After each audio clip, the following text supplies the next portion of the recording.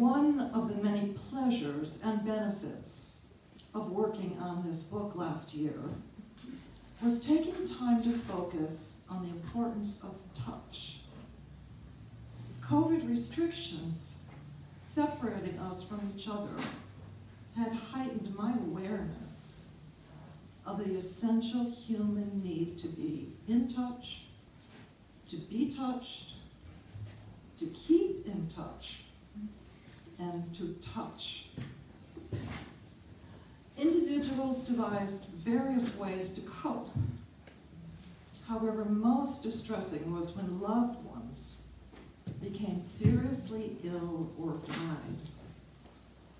Conventional rituals had to be delayed or reimagined as we struggled to invent satisfying ways to be with or without each other.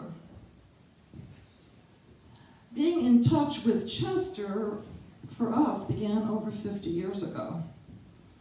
However, we'll begin right here at the Meeting House, September 15th, 2019, with a presentation by Al Malpa.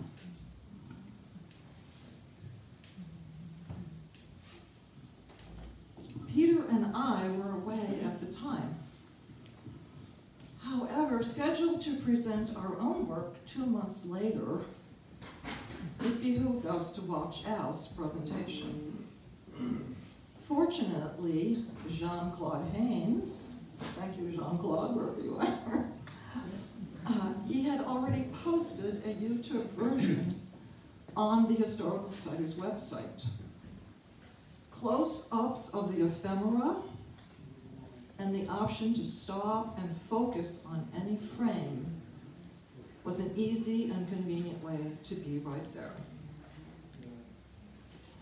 Each time I revisit Al's presentation, which I've done a number of times, working on the book and even recently working, getting prepared for this presentation, uh, each time I revisited it, uh, I was more and more appreciative of Al's expertise and ephemera's ability to reveal unique cultural and historical perspectives.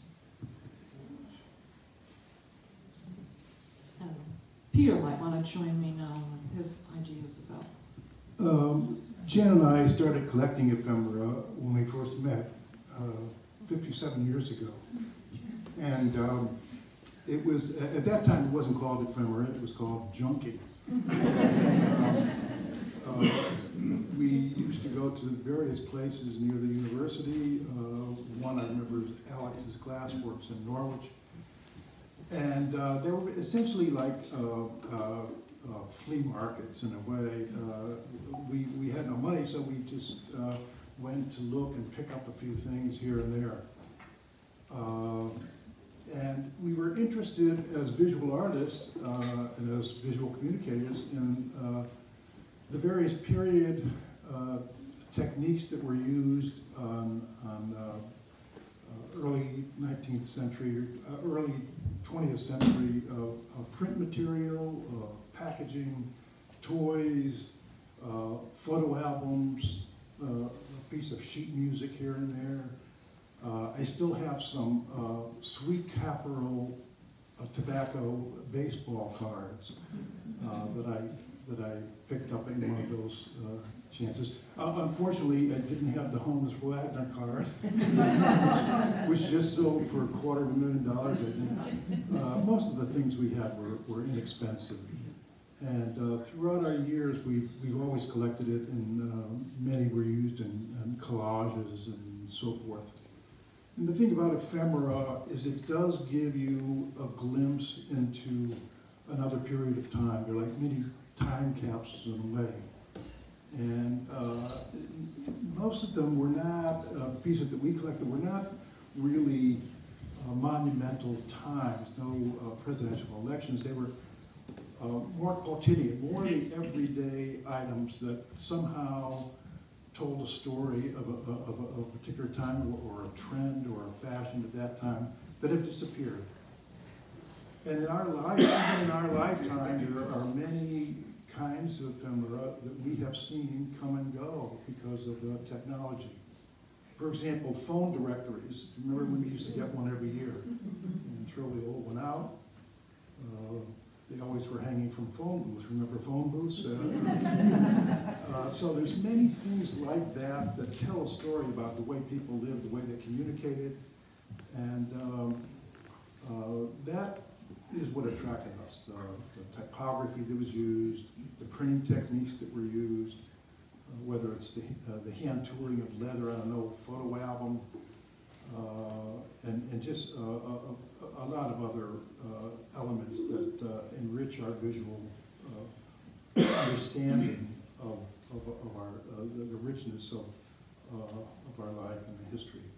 It also gives us a sense of continuity with the past. Um, So, um,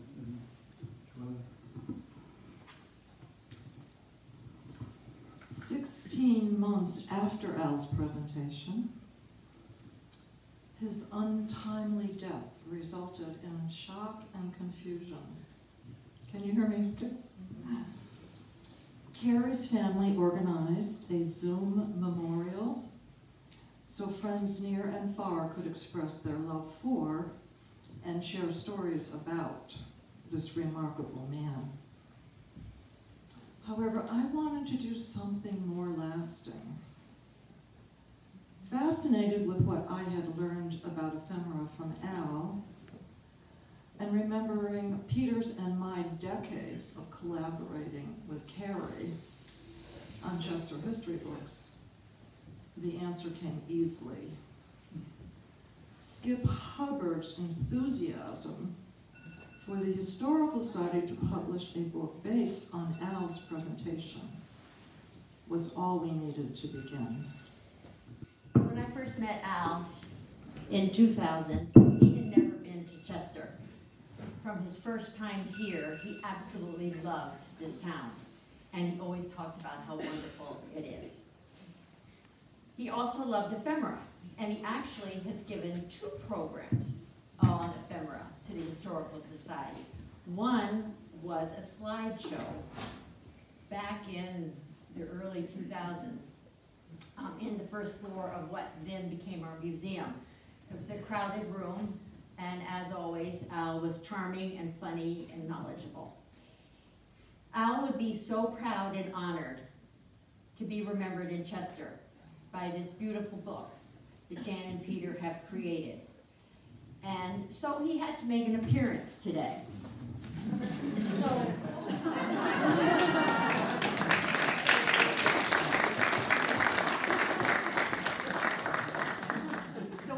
wearing his medal, his Marcus Reward, Maurice Rickards Award medal that he got from the Ephemera Society of America. He was told shortly before his death that he had been selected for the honor, but he didn't get the award until, um, well, until I got it. And so anyway, um, there was a dinner two weeks ago, um, from the given by the Ephemera Society of America, and Al made his appearance there, thanks to a friend, and so, here he is, so keep going.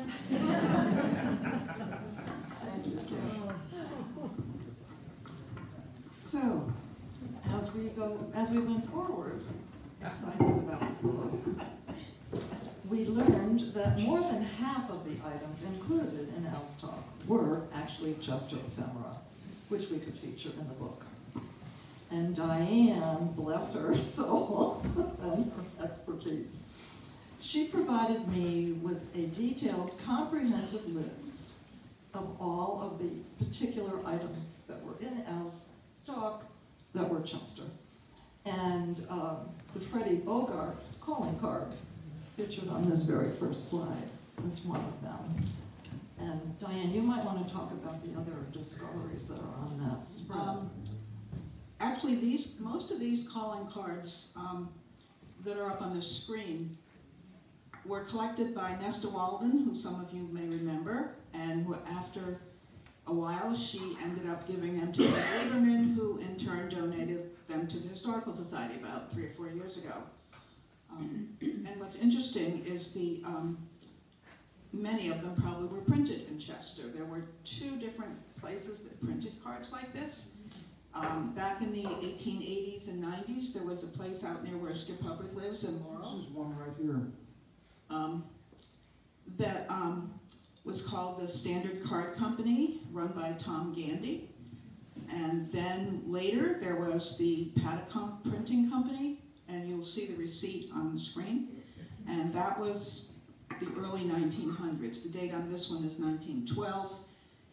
And we actually got this piece from, um, it was a bill for uh, Ruth Norton, who graduated from Chester High School in 1912. And this was probably her cards that she gave out after graduation. Um, and her family had collected a bunch of things from Ruth and donated them to the Cheshire Historical Society instead of Chester. And Cheshire passed them on to us.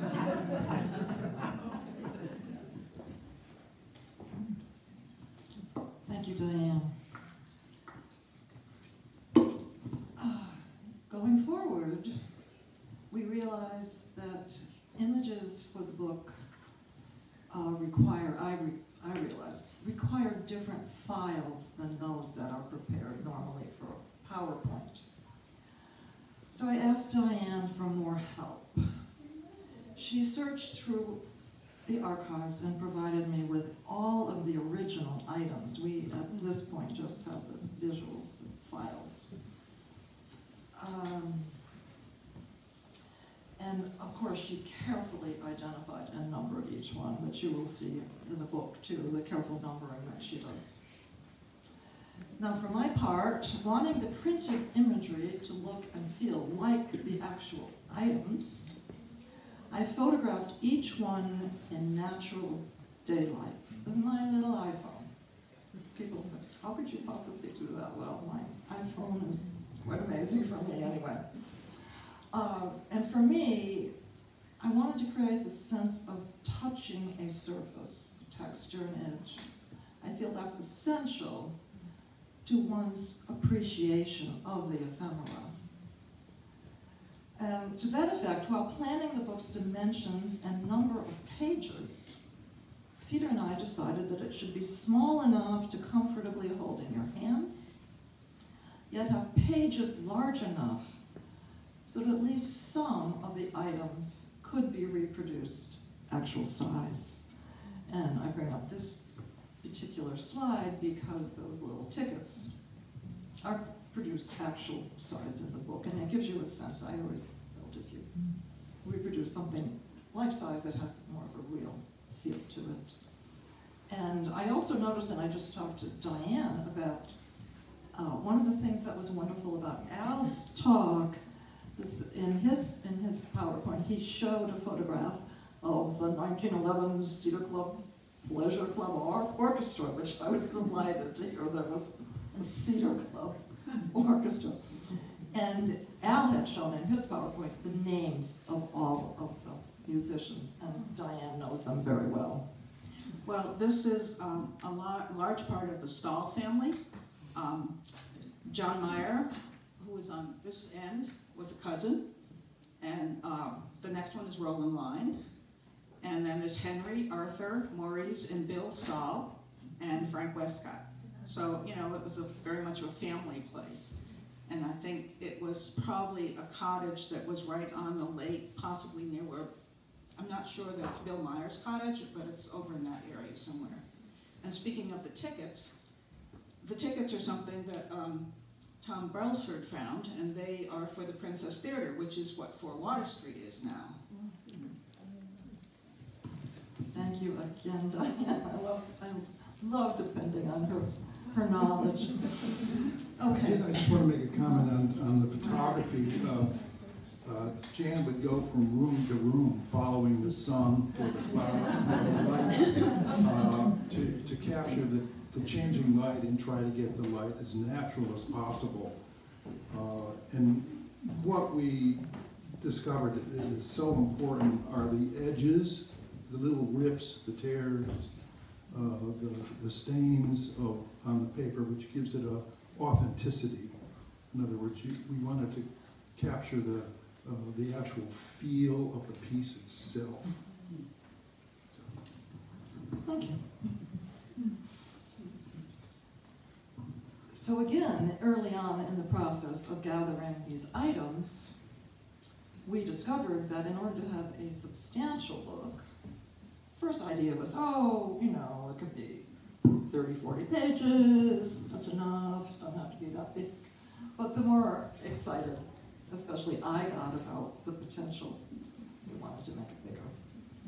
And um, so again, I go back to Diane, and she broadened her search of the archives, and I've shown this a few photographs of what what these archives. I don't know if people have visited the archives recently or ever, but it's quite an experience to see the organization, the extent of organization and material that is so And I- carefully. I don't know if you know where the archives are. They are down under the stage. Um, we have a room downstairs where we have, where we work. And, um, we have several computers down there. We use a museum, uh, software, Past Perfect, and we have every item. This is our goal, to have every item in the computer with a picture so that we can keep track of everything. Um, I think she caught us at a rather uh, unorganized day. But, you know, people bring things in and by the time you get it organized and find where you're gonna go, it- they end up sitting there for a while, so. How about the hours, Diane? Pardon? How about the hours? Oh, well, I'm there on Tuesdays from one to three and on Fridays from nine to twelve, most any day, or you can contact me and I will meet you at another time if that works for you. And my coworker is pictured in there. She's got her head down so we can't see her, but it's Pat Kosky, and so she's right there. Yay, Pat.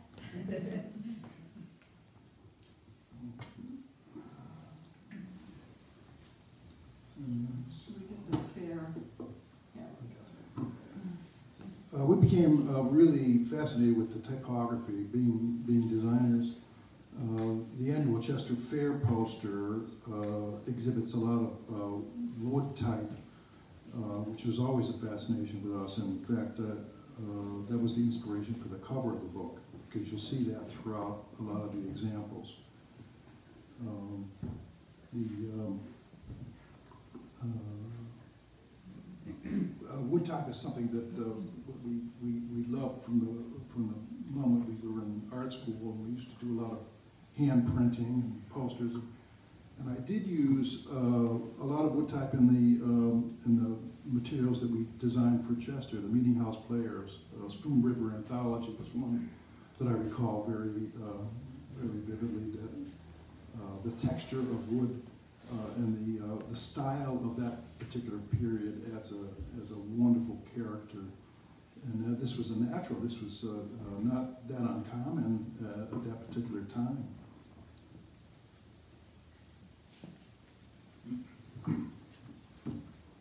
Uh, The other thing that impressed us was the, the wit and the sophistication of some of the pieces. This was a, a high school play, and the play on words, arrival by request, uh, the, the double entendre that we thought was so amusing. Uh, and also the, the printing techniques. Uh, this was a graduation program. It uses foil stamping, uh, engraving, uh, uh, letterpress printing, which was the, the standard model at that particular time. But compared to um, you know laser printed programs today, and even online programs, uh, the, the texture and the quality uh, and the tactile aspect of, uh, of these pieces were were um, a different a different experience. Speaking of touch, the theme that Jan mentioned before.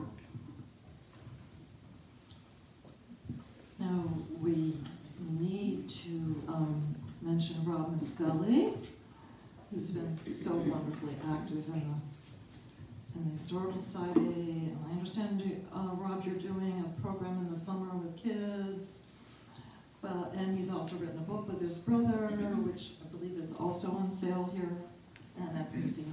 It just won an award of merit from the state. It's a big deal. Oh,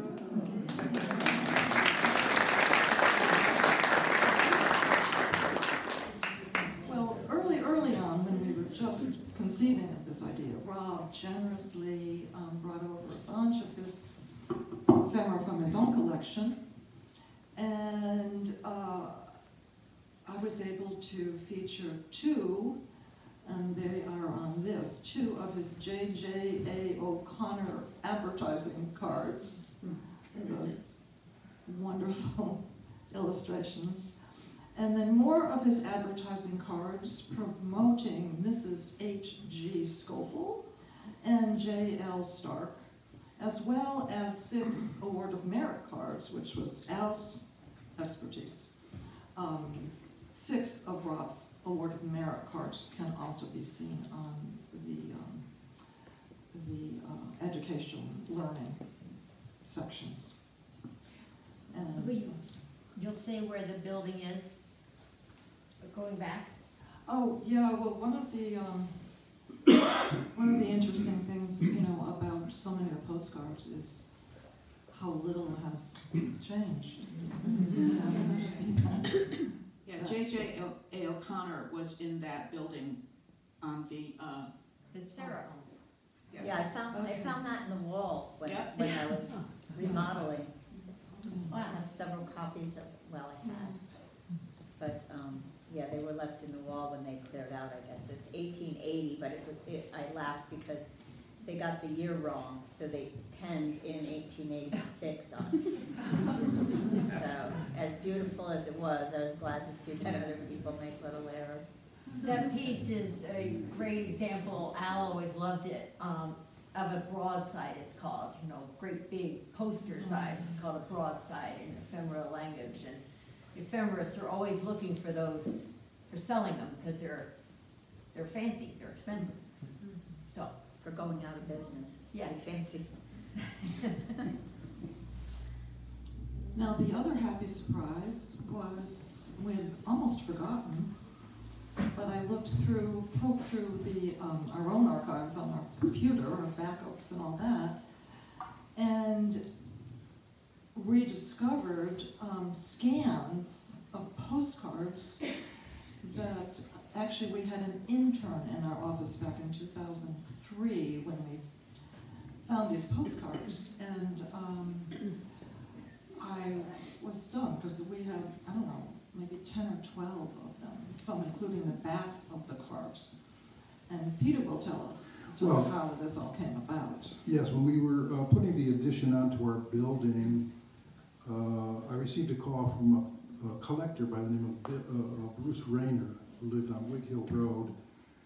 And he informed me, he says, we have a, a, a post office box unit from the original post office, which was in our building from thirty-eight to sixty-five. Uh, And uh, it was for sale. He, he had one left. He, um, uh, he bought out the old post office and, and broke down those units and sold them as banks. It was a thing to do. And he had one left, and uh, we said, certainly, we'd love to uh, purchase it. And went out to see his collection and uh, acquired the, the post office box unit, which we uh, donated to the Historical Society. It's in the lobby. Um, Went from our lobby to the lobby of the, of the Mill Museum. And um, we noticed that he had so many other things, including an album of Chester postcards.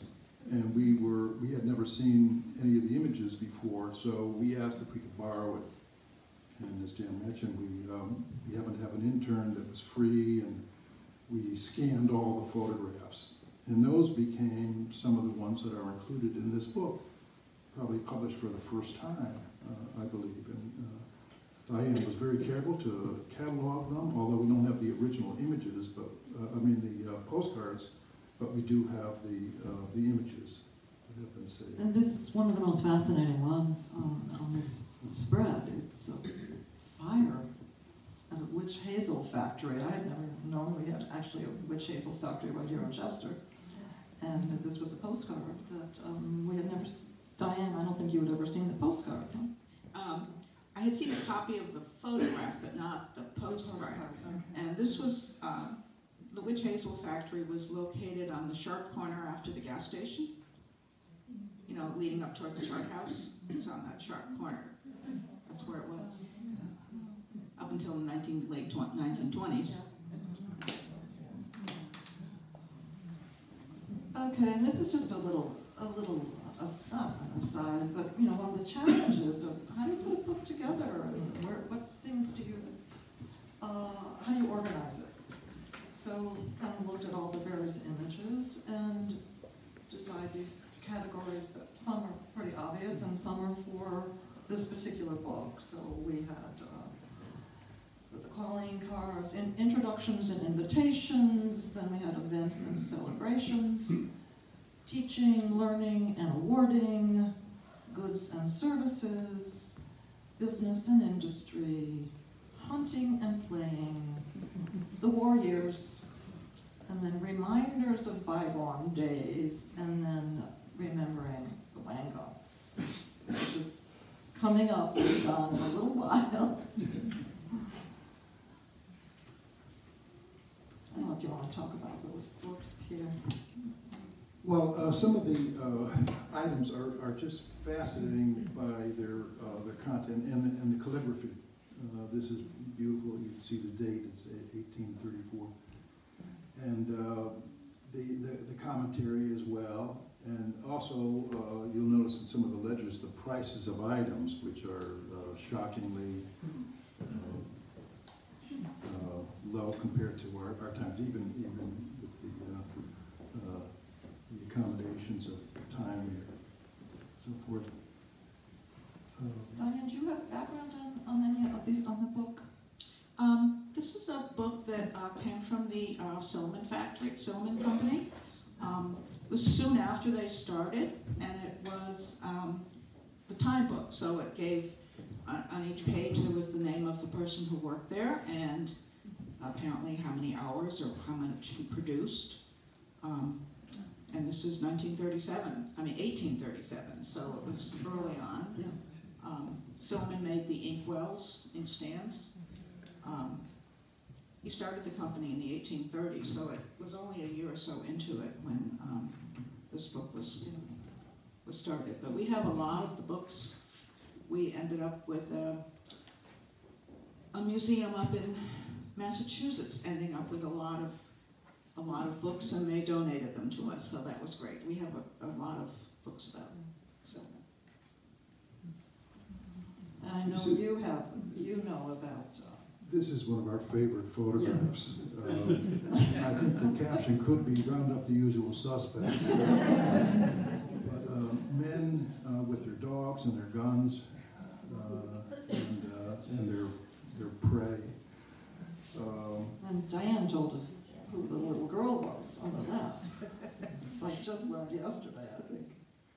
Well, the hunting license is from um, Fred Walden, and he's pictured in there with the gun and his little daughter in the in the uh, in the picture, and that's um, Helen Rafuse, who some of you may have known.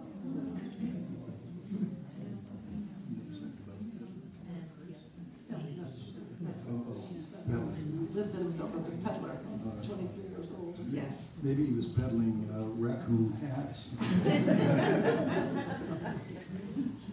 Do you have other? And then we go. Okay, the other ones are um, Joe Morrill, James Henry, Eddie Costelli, Leighton Kelsey, um, Tony Calamari with a question mark, uh, Bill Bowling, um, Ocean Ray, Fred Walden, and Helen, and Father Custer, who's the priest locally.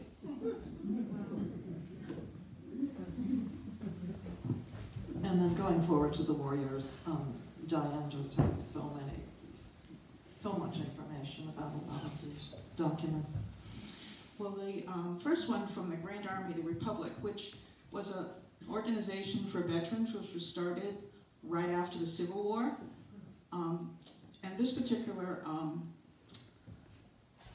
it's the charter for the Chester um, post of the uh, Grand Army of the Republic, and it has a bunch of familiar names on it. Um, Walter Clark, uh, Henry Gardner Silliman, Gorham, Nelson Gilbert, Shipman, Wright. And if you look at the plaque that's up in the balcony of the Civil War volunteers, most of those are on that plaque.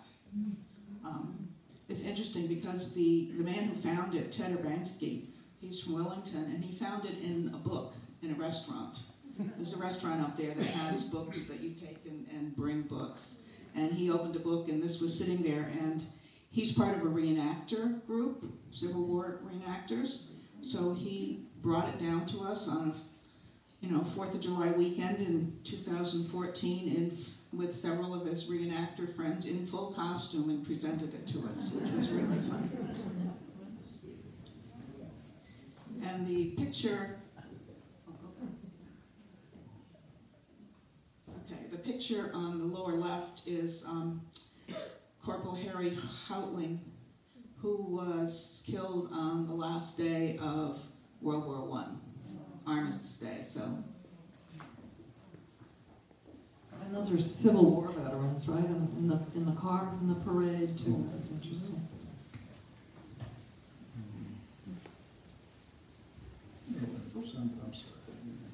Okay.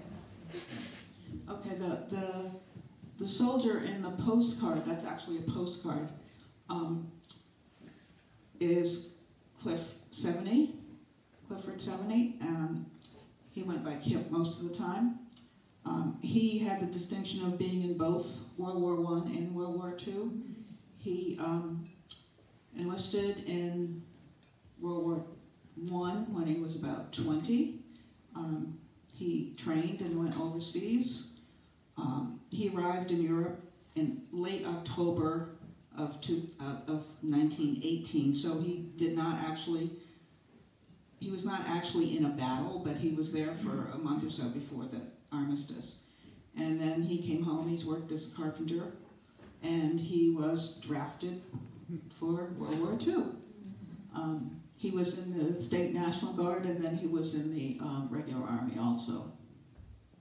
And we have quite a few different things from him, this draft card, and we have uh, copies of some of his um, discharge papers and things like that. So, I was fascinated too by the postcard that apparently the soldiers are given to fill out, and then when they make it overseas, then the postcard is sent to the parents or loved ones that they. right, because they would have gone over, you know, it would have taken many days to go on a ship and be sent overseas and to make sure that they got there safely. So.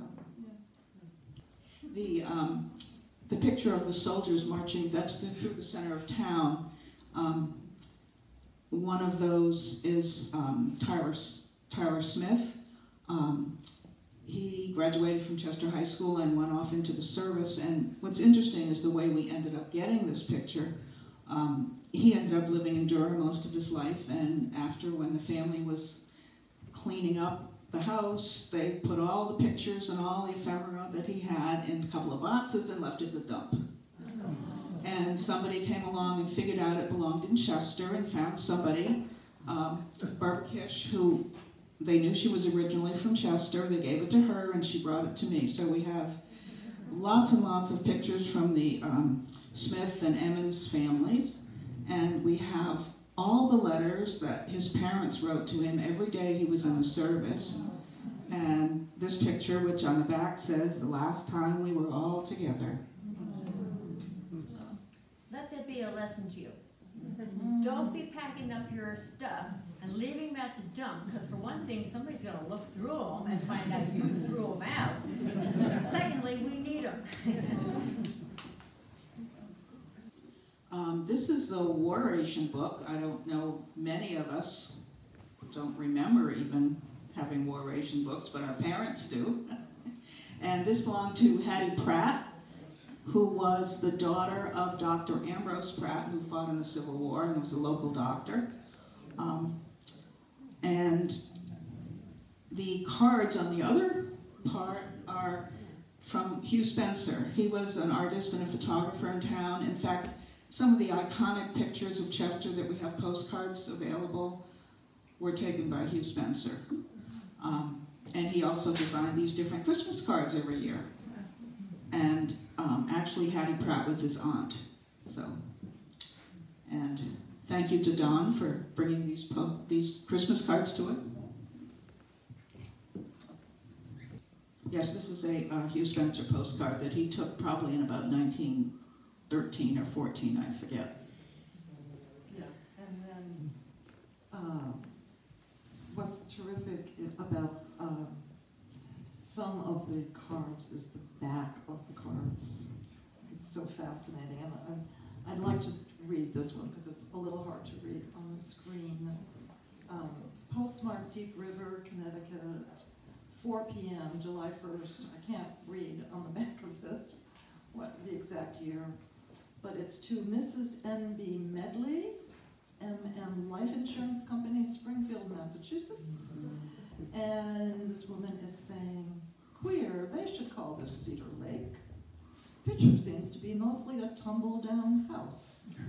Anyhow, it is on the road to where I am staying, four miles from the center. Have you finished canning your strawberries yet? Love from Edith. I mean, it just gives you such a sense of the way people would talk with each other or whatever, just like we do, casual way, whatever. And then these two pages especially noteworthy because all four items are new acquisitions to the archives. You can. From you, thank you. Uh, The bottom, uh, the bottom left uh, is um, a photograph of, uh, in front of the, of the stone building uh, with uh, two tokens for the pool hall that used to be in that building, on the second floor, actually where I had my office. And uh, I could hear the pool balls breaking uh, when I was daydreaming. But um, that was given to us by Jesse Lanzi, who had a, a fascination with history and, and actually bequeathed uh, several uh, pieces to, uh, uh, to us over the years um, that we were happy to give to the Historical Society. You know, and honestly, the upper left one, which is such a kick, I, it's not one of the postcards that we had scanned, and I don't know where the heck I found it. Somehow I was researching Chester and found that one.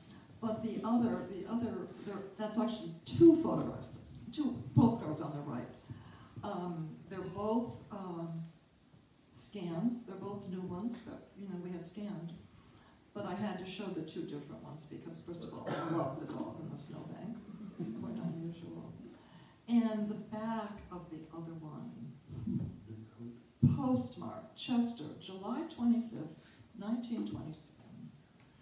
To Miss May Green, Essex, Connecticut. Dear May, I promise you I would write, but I can't think of much to write. I am so nervous I can't write, but write just the same. I was down Sunday afternoon, but no one was home. With love, Russell. You know, and I thought, okay, you know, he's in Chester, she's in Essex. He's not not gonna send a message by the computer, right? He would mail this. I just think it's, it's so dear that he would write this and send it to, to May. I don't know, does anyone know anything about who May and Russell were? No? Jan, how much is the stamp? How much is the postage? Oh, what's, is it two cents? Yes. Two cents, yeah. Well, the, thi- the thing about uh, this book, whole book, as we were going through it, um, made us realize that uh, most of the people, first of all, in the book are deceased. And uh, they led lives very similar to ours. They, they, um, they raised their children, they educated them, they, they worked hard, they, uh, they had dinner parties, they had they made music, they celebrated parades, uh, and they lived their lives uh, very, very much the way we do. And we're very grateful because they took care of the town. They get, they left the town uh, for us to uh, to enjoy. It's a it's a uh, it's a very uh, human experience to uh, to think of the, the continuity. Anyway, that was, uh, Now, also speaking about that, that wonderful comment, Peter, I realized that we've only focused on people like us, right, that we're familiar with. And so, my, this now my discovery is just so wonderful. Um, well into the search, I revisited the Society's website to study additional YouTubes. Most helpful for my purposes was Don Perreault's 220 presentation. Before the English arrived, Native Americans in Chester. An exciting surprise to me, especially the tiny book he held in his hands. The tiny, the tiny book, it- yeah, it's, it's, uh, first I have to say, it's, it's, up to this point, it's been great watching because, you know, I'm a, I'm a, I'm a local boy and grew, grew up in this town when it was small and, and, you know, there was still a lot of factories and in the summertime, your mother would kick you out of the house at eight o'clock in the morning and say, see you at lunch and, and you would just wander around the town and, and, and wander through old factories that were still here. You probably shouldn't have gone through those factories. and even some of the people up there you, you look at. And I think I've always had such a fascination with Chester history and um, especially with Native Americans. And, and this is where Jan comes in. You know, my grandparents owned a house, two houses up from the Middletown Yacht Club. And uh, it was their summer home until they came up here permanently in the late 40s. And they had been there for a couple decades. And it was kind of interesting because as they would um, do work on the house or dig out the garden, they would dig up projectile points, dig up Indian artifacts. Even my mother, my, I shouldn't give away her age, but my 80 something year old mother will talk about how when they were digging the potato garden and up popped a skull out of the ground. So they put it right back down in there and the potato patch was going to go elsewhere. And um, so I always had this fascination with Chester um, history. But it wasn't until one day when I came across this, this book, which we've reproduced here, that I was really just taken aback. The Chester Historical Society has in its collection um, this wonderful book that was written by Edward Hungerford, a great piece of ephemera. And, um, and I love ephemera. I've collected ephemera all my life. It all started with this like grandmother of mine who had been the town treasurer for 20 years, and you know uh, she used to just have all these little piece, little pieces of paper and postcards, and not that she was a collector. Um, as a matter of fact, she's kind of a neat freak. But um, I used to love to look at this stuff, you know, and stuff that related to factories and stores, and it just kind of showed what a, you know, kind of filled in the the, the glue kind of that uh, told us about this town. But it was this book that someone showed me once. I've only ever seen one copy of this book, and I assume it's the one that the Historical Society has. And it was written by a man named Edward Hungerford, who wrote this book, I, I believe, in the 1870s. And um, he wrote it about the Native Americans that lived in our town. And it is just the most, I mean, it's really incredible. Not that I'm trying to give you a pitch to buy this book, but um, this is a reproduction of it. But in this book, he's now first of all, Edward Hungerford's a Warner, so he talked, and his Warners are the earliest settlers of Chester, and uh, he talks in this book about you know when he was a young boy in the early 19th century, how his uncle talked to him about playing amongst the old abandoned Indian fort on top of the hill by the Chester Ferry, which was known as Fort Hill.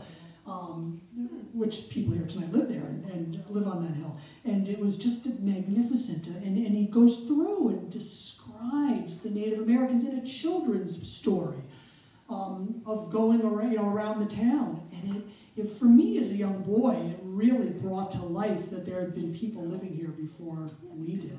We all know this, for example, you know, in the winter they'd go out by Cedar Lake and pitch their wigwams out there. That's where the name Wig Hill Road comes from because the hill road came right down there to where the wigwam was, that area called Wigwam Hollow.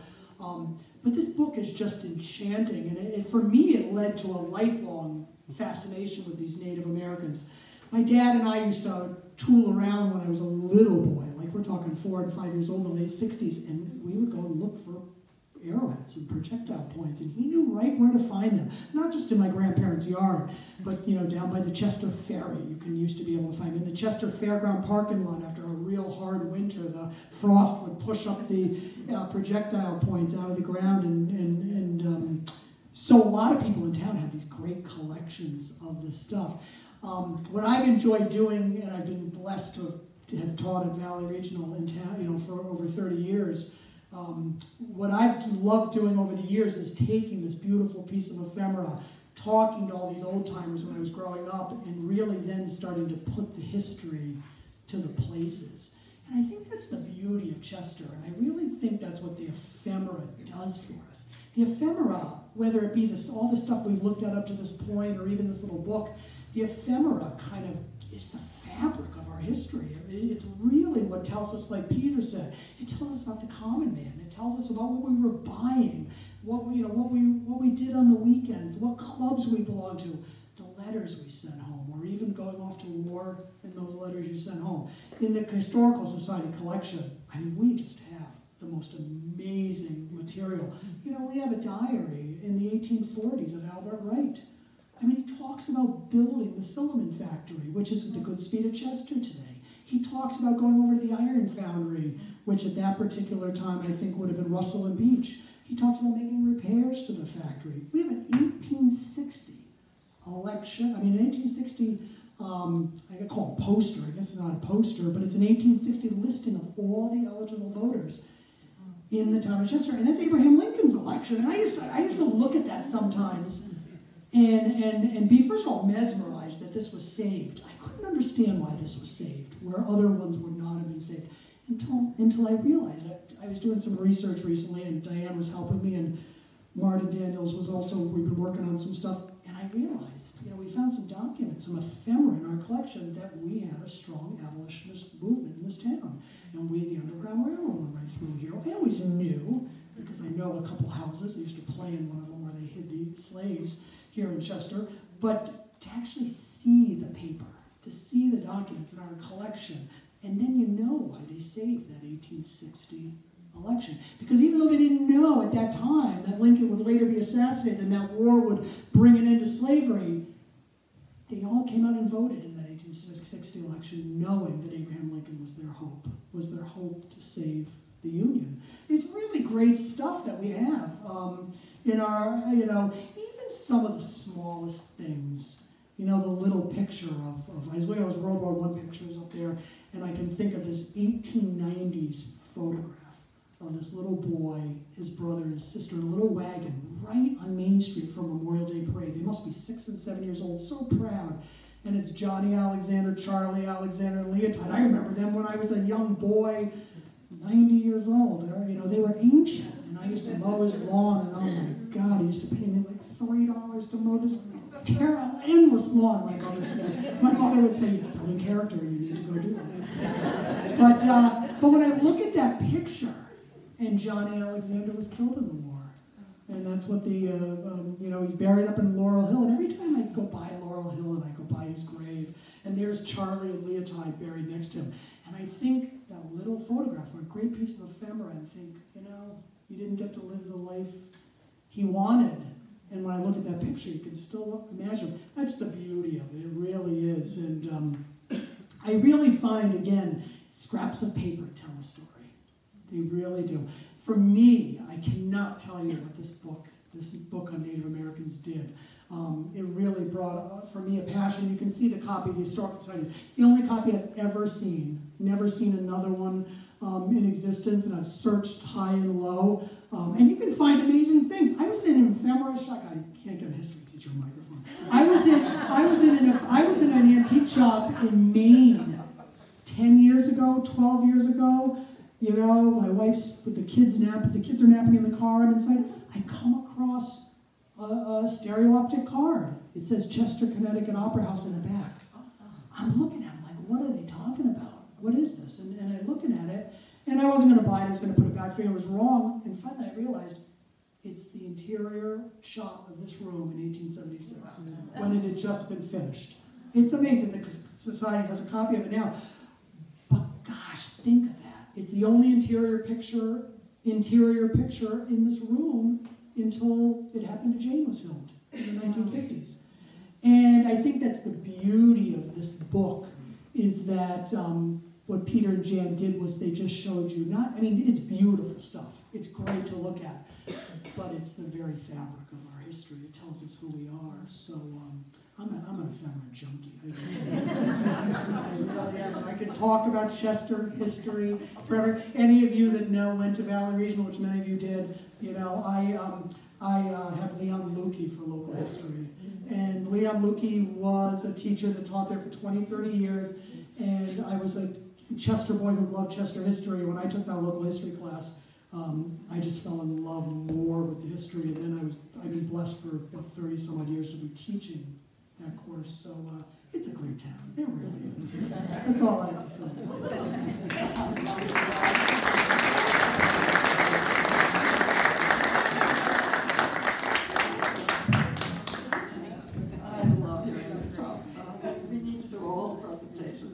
just by you.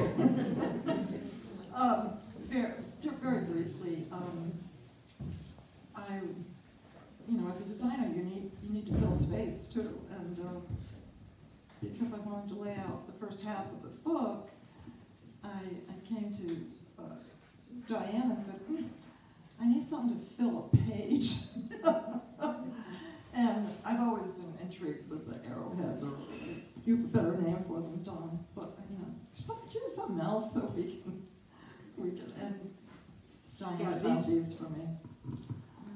These arrowheads actually were um, found, not arrowheads, tools, were found when they were constructing, constructing Route 9 um, in Chester. And at that point, they were given to Deep River Historical Society because Chester did not have a historical society at that point. And then at some point, Deep River Historical Society kindly sent them back to Chester. So thank you, Deep River. And I just have to add, it's, it's, it's not even that they just even found these randomly. They actually came across near Pine Ledge areas, they came across the actual site where the Native Americans made them. I mean, there was lots of shrapnel, broken pieces. It was the actual site where they would work on their tools and make them. And a lot of those broken pieces, um, you know, would just be tossed aside when they messed up and they'd have to start over again. So it, they came across, I mean, good. Back then, if it was, was today, they would have shut that site down for a month. You know. I have to tell you too, I got so excited, um, I had, uh, obviously, I brought them home to photograph them. Actually, they're, they're the only items that have natural shadow, although there's shadow in the book is, is computer shadow. But, um, uh, our grandchildren were visiting, and I said, you have to hold these.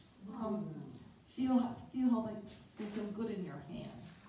You know, and they- these have been used for hundreds and hundreds of years. And, and they were right here by by people who lived here, and to be able to just touch those. And they're here too, if anyone would come up and take a look, and I guess it's okay with you, Diane, if they, if they touch the, the stone tools.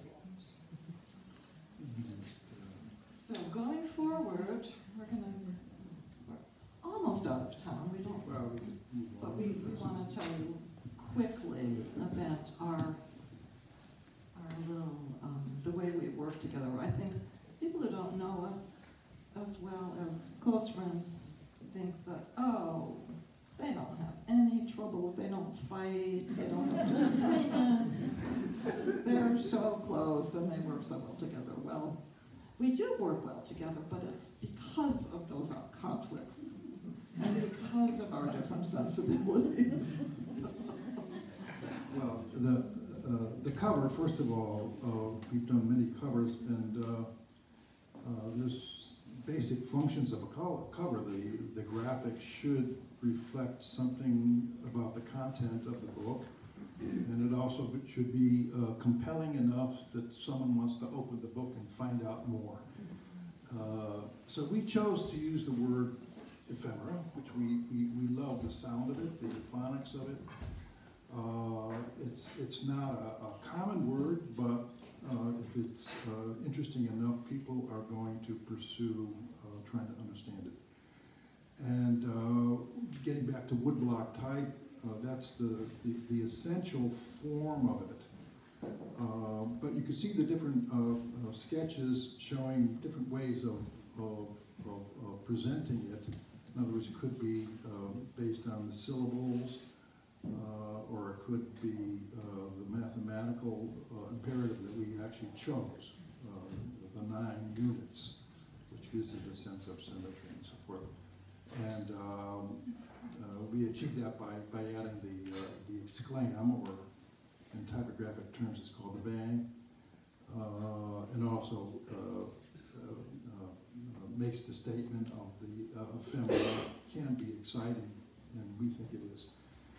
Uh, Now, the, the, the fonts were, were, were basic fonts that were based on uh, the uh, wood type, but they were not actually wood type letters, and they needed a lot of manipulation. So that's when I went to our production company department, which is uh, essentially Jan. So meanwhile, Peter comes up with these brilliant ideas very, very quickly. And he's anxious to see it take form. Meanwhile, I am researching, I'm running back and forth with Dr. Diane, laying out the book, how do we do this? And fascinated with the material, but thinking, oh man, I don't know if I can think about this cover right now. I can't think about it right now. I have to feel good about the book coming together and so forth. And, uh, and it's on the back of my mind, oh, I know he wants me to do this. Anyone who works with InDesign Illustrator knows it can be a real hassle to find all the fonts. You know, you go in your suitcase, and do we have them, and can I find them? So I, when finally I felt pretty good about getting most of the book somewhat resolved, I said, okay, okay, I'll do this, let's sit down, I'm looking, and he's written down all the names of the fonts and so forth. And me, It have to be nine fonts or nine different letters? At one point I said, I don't think this is gonna work, you know, and I said, you're torturing me right with having, but because, especially since we've left the building, I've had a lot more time to familiarize myself with all of the programs and so forth. And it, it was not a big deal to do that. And putting them, and you can see if you look at the gray and um, white version, you can see the actual fonts did need some A manipulation lot of manipulation. stretching and so forth. And, but the, the best thing about having waited so long is that I was really familiar with a lot of the most fun, colorful imagery, representative imagery. So once, once I got that into um, Illustrator, uh, and I had Peter sit, sit with me, um, because he used to use this kind of technique before you could do it in computer. You had to do it by hand. So I wanted him to see how easy and fun it was. That was for me, that was the fun part. To find that imagery and plop it into uh, those letter forms and realize, you know, that it was going to be a really fun, sensational cover. The ni- the nice thing about being naive about the production is that uh, it doesn't bother me to come up with these ideas. Someone will get it done. But I, but- but I do have to be gentle. I'm Not to be pressed though, I can't, I used to have an assistant, and said, just do it. No longer true. Uh, No, we're just about Okay. closure. So- Thank you all for being here. We hope that our book and its stories have encouraged a new or renewed interest in ephemera. If so, we suggest that someday when you're home, search your house from attic to basement for your family's history. Mm-hmm. Appreciate and care for whatever you find or are already familiar with. Meanwhile, please keep in mind that Diane Lindsay and Pat Kosky. Why don't you stand up? Pat?